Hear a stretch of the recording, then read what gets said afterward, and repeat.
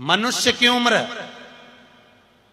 गधा की उम्र, कुत्ता की उम्र और उल्लू की उम्र। बराबर थी।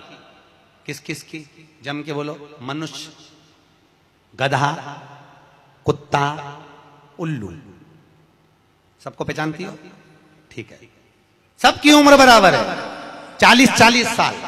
मनुष्य पहले चालीस साल का था, गधा चालीस साल का था, कुत्ता चालीस साल का था, उल्लू चालीस साल का था। सबकी उम्र लेवल में बिल्कुल बराबर थी। भगवान क्या देर अंधेर, कुछ ये ऊँचा नीचा लेवल अपने यहाँ चले, भगवान क्या नहीं चले। भगवान ने सबकी उम्र चालीस चालीस साल रखी।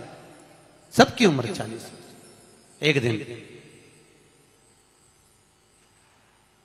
गधा भगवान के पास में आया। और गधे ने भगवान से आकर कहा, अरे भोलेनाथ, भगवान शंकर ने पूछा, क्या हो गया? महाराज, हमारी उम्र 40 साल की दे दी, हम लोगों का बोझा ढोते रहे, लोगों का वज़न ढोते रहे। महाराज, हमारी उम्र बिल्कुल आदि कर दो, बिल्कुल आदि हमें इतनी लंबी उम्र नहीं चाहिए। भगवान ने कहा, ठीक है गधा, आज से तू बीस साल का। गधा कितने साल का हो गया? अरे जम के बोलो। बीस साल का, थोड़ी देर बाद मनुष्य। आवाज़ सेट करो। मनुष्य इको खत्म हो गया, डीले नहीं आ रहा। मनुष्य। और थोड़ी देर बाद में मनुष्य भगवान के पास पहुँचा, भोलेनाथ, आगे वापिस। आगे। मनुष्य पहुँचा और भगवान के पास जाकर बोला, भोलेनाथ, भगवान शंकर ने पूछा तुझे क्या हो गया? भोलेनाथ, चालीस में मेरा क्या होगा प्रभु? भगवान ने कहा, गधे की बच्ची है। कितने साल बचे बीस। मनुष्य कहा, दे दो प्रभु। भगवान ने कर ले जा। कितने का हो गया? जम के बोलो, साठ का। थोड़ी देर बाद कुत्ता आ गया। कुत्ता शंकर जी से बोला, बोले ना, शंकर भगवान ने पूछा, तुझे क्या हो गया? महाराज, चालीस साल की उम्र दे दी लोगों के दरवाजे पर बैठा रहूँ, दरवाजे पे बैठ कर झूठन चाटूं, दरवाजे पे बैठ कर रोटी खाऊं, दरवाजे पे दुम हिलाऊं और दरवाजे पे से चिल्लाऊं, महाराज मेरी उम्र कम कर दो। भगवान ने कहा, ठीक है, कुत्ता, आज से तू बीस साल। थोड़ी देर बाद मनुष्य फिर आ गया, भोलेनाथ। साठ में क्या होगा?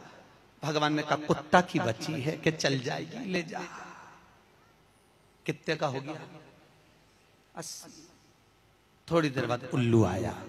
उल्लू ने आकर कहा भोलेनाथ, भगवान शंकर ने पूछा, तुझे क्या हो गया? महाराज, चालीस साल की उम्र दे दी रात रात भर जगता रहूँ, पेड़ पे टंगा रहूँ रात रात भर मुझे नींद नहीं आती, भोलेनाथ, मेरे को रात भर चौकीदारी करना पड़ती, रात भर पेड़ पे बैठा रहता हूँ, रात भर वृक्ष पर बैठा रहता हूँ, मेरी उम्र कम कर दो, भगवान ने कहा, कितनी कम कर दो, बिल्कुल आदि कर दो, भगवान ने उल्लू की उम्र आदि कर दी, कितने साल का हो गया, बीस साल का, थोड़ी देर बाद मनुष्य आ गया, मनुष्य आकर बोला, अरे भोलेनाथ, शंकर भगवान ने पूछा, क्या हुआ, अस्सी में मेरा क्या होगा? भगवान ने कहा, उल्लू की बच्ची है चलेगी कि ले जा।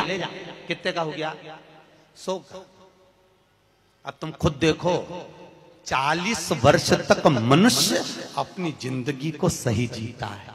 कितने साल? जम के बोलो जरा।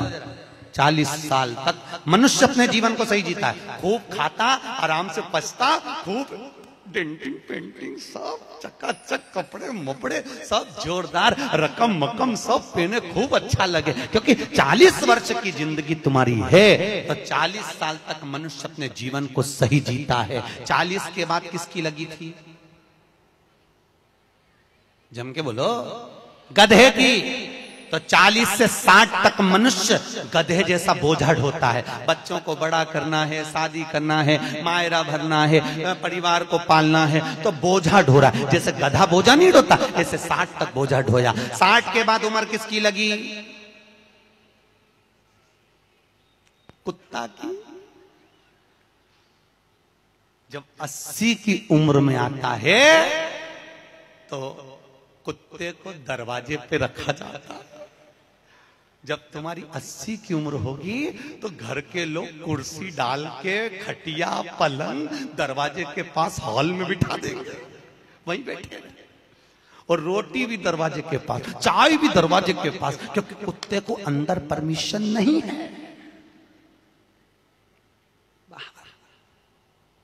और कोई भी मिलने आया तो वहीं से चिल्लाया बहु वहीं से आवाज़ क्योंकि कुत्ते की उम्र लगी है। वही से। से अब कुत्ते के बाद में अस्सी के बाद? अस्सी से सौ? उल्लू की। डॉक्टर साहब क्या गए। डॉक्टर साहब, मुझे रात में नींद नहीं आती। डॉक्टर साहब डॉक्टर साहब ने टेबलेट दे दी, नींद की गोली दे दी। डॉक्टर साहब ने इंजेक्शन लगा दिया। कितने भी अच्छे अच्छे डॉक्टर को दिखा लेना, पर 80 से 100 साल की जब उम्र होगी, डॉक्टर को क्या मालूम कि किसकी लग गई। शिव महापुराण कहती है 80 से 100 में कितनी भी दवाई खाओ, कितने भी इंजेक्शन लगवाओ, पर रात्रि को नींद नहीं आएगी। गोली खा भी लोगे तो रात के डेढ़ दो बजे तक चकाचक सोएगी। दो बजे के बाद उल्लू जैसी बैठी रहेगी। दो बजे के बाद। कितना भी खाओ, कितनी भी दवाई खाओ, कितने भी अच्छे डॉक्टर को दिखाओ, पर 80 से सो में जाग रही। आधी रात को जागे। बहू के मम्मी सो नहीं रही, आई सोई नहीं। आई के मारे नींद ही नहीं आई अब इसके कौन समझाए? उल्लू की लगी। कौन समझाए इसके? अस्सी से सौ